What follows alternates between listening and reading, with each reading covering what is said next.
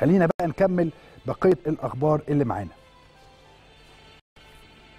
أيضا كابتن خالد بيبو بيتحدث عن استراتيجية العمل في الموسم الجديد. كابتن خالد بيبو مدير قطاع الناشئين في النادي الأهلي كان أو بيتحدث عن استراتيجية لشكل القطاع خلال الفترة القادمة في النادي الأهلي. وكابتن خالد بيبو الحقيقة ظهر بشكل رائع جدا القطاع بالكامل. إحنا لما بنقول كابتن خالد بيبو يعني بنقول المدير الفني اللي موجود التشيكي وبقية المديرين الفنيين اللي ماسكين كل الفرق. كابتن خالد بيبو في القطاع ماشيين بشكل جيد جدا. نتمنى استمرار هذه النهضة الرائعة والكبيرة جدا في قطاعات الناشئين اللي واضحة خلال الموسم السابق.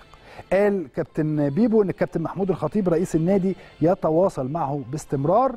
للاطمئنان على سير العمل في القطاع وقال إن هناك خطة مدروسة لفترة الإعداد سيتم تنفيذها خلال الأيام المقبلة. أيضا تدريبات بدنية لفريقي 2001 و2003 داخل صالة الكاراتيه بالنادي آه الأهلي. تدريبات زي ما قلت لحضراتكم بقى ده استكمالا للموضوع. إن هيبقى فيه خلال الفترة القادمة شكل معين للتدريبات بدنية لقطاع الناشئين في النادي الأهلي بقيادة المدير الفني التشيكي زي ما حضراتكم شايفين الصورة أمامنا مايكل بروكيتش المدير الفني لقطاع الناشئين هو بيحرص بنفسه إنه يكون متواجد في مثل هذه التدريبات البدنية القوية اللي بالمناسبة الكل بيأسس عليها. فترة الإعداد الكل بيأسس على فترة الإعداد.